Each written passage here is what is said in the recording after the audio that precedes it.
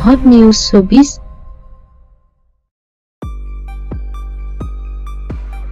Cùng lợi đẹp mê hồn ở tuổi 20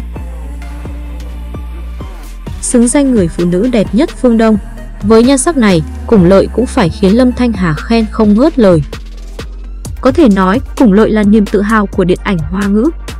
Bởi lẽ dù không tốt nghiệp từ trường đại học danh giá nhưng với tài năng diễn xuất thiên bẩm và nỗ lực không ngừng nghỉ đã giúp cô vươn lên tới hàng ngôi sao thế giới.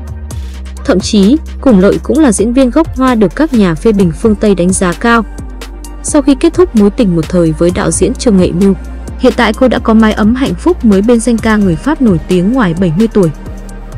Tuy nhiên, sau khi lập gia đình, dường như Cùng Lợi cũng ít xuất hiện trước ống kính hơn. Thế nhưng những hình ảnh ở thời điểm cùng lợi mới 20 tuổi luôn là chủ đề được cư dân mạng quan tâm.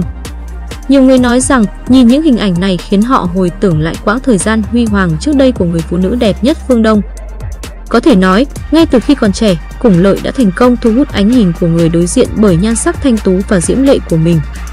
Thậm chí, ngay cả mỹ nhân Lâm Thanh Hà cũng phải bày tỏ sự ngưỡng mộ của mình trước nhan sắc và tài năng của Củng Lợi. Không những vậy, giới báo chí quốc tế cũng từng khen ngợi Củng lợi không ngớt lời khi gọi cô nàng với biệt danh người phụ nữ đẹp nhất phương Đông.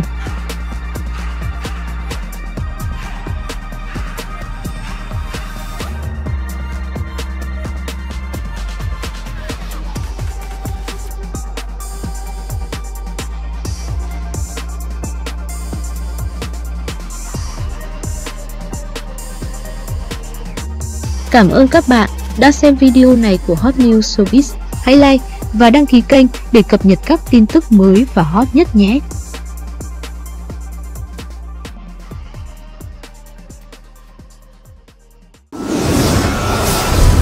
Hot News Showbiz